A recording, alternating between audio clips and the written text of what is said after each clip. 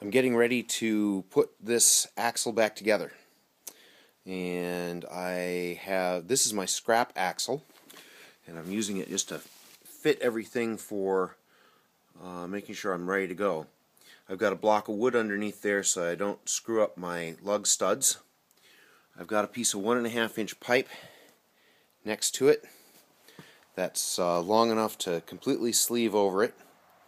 I've got the scrap bearing on top and I've been checking and I know that this is a, uh, a big enough piece of pipe.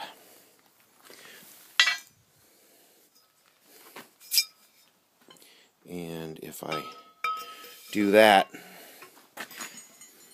it doesn't quite go all the way down.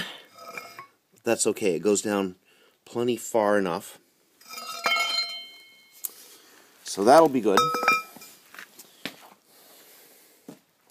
The uh, the actual shaft is in the freezer, and here in the chest freezer I have the actual axle shaft that goes back in.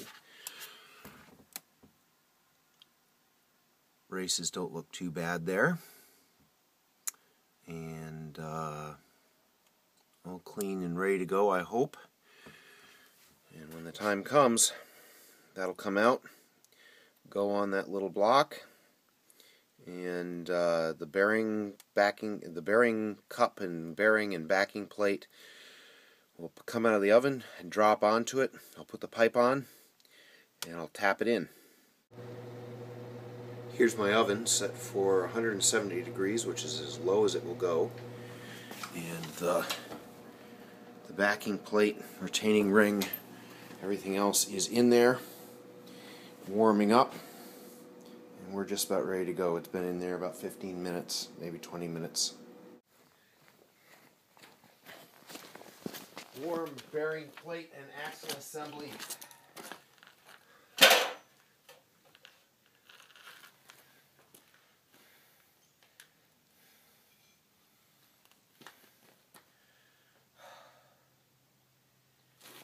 And by the way,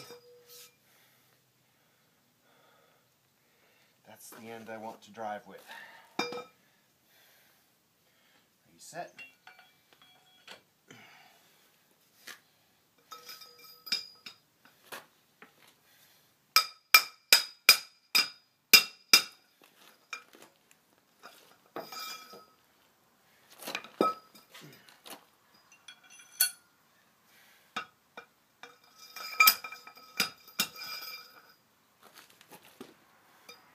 Not quite.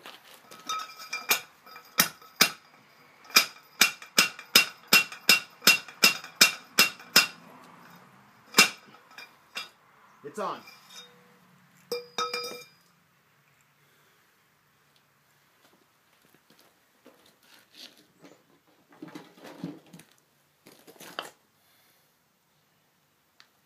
Here's the retaining ring.